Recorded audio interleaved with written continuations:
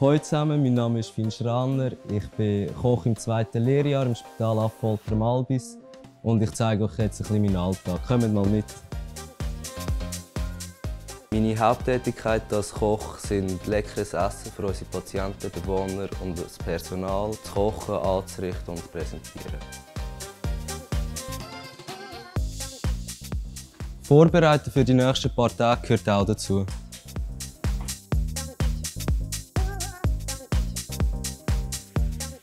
Ich mag diese Lehre, weil es ist ein super Team da.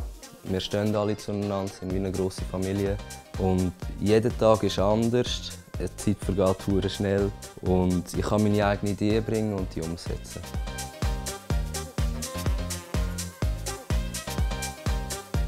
Wenn du da Lehre machen willst, musst du einfach motiviert sein und Freude haben, mit Lebensmitteln zu arbeiten.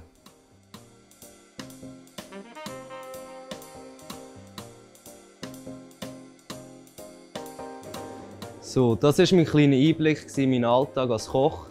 Ich hoffe, euch hat es gefallen. Wenn ja, bewerbt euch heute noch.